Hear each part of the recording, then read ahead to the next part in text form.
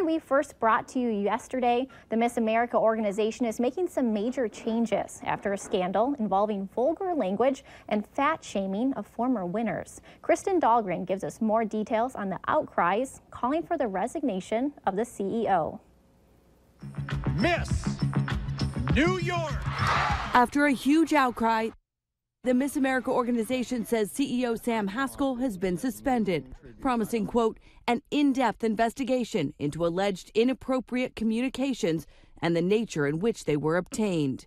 In his statement, Haskell says the emails were stolen by ex employees and conveniently edited. In the emails leaked to the Huffington Post but not verified by NBC, Haskell appears to laugh when lead writer Lewis Friedman refers to former Miss America winners using a vulgar term.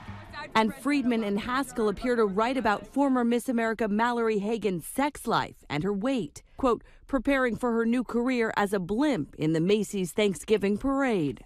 This was the first time that I've seen them with my own two eyes. A spokesperson told the Huffington Post Friedman was fired, but Haskell explains, quote, I was under stress from a full year of attacks by two Miss Americas, apologizing that it impaired my judgment when responding to the inappropriate email sent to me about them. There is no apology in the world that makes this right. Kate Shindle, Miss America 1998, was also targeted in the leaked emails. I knew that ever since I wrote my book a couple years ago that I probably wasn't their favorite person, but I didn't know that they were openly wishing for my death and passing it around on email.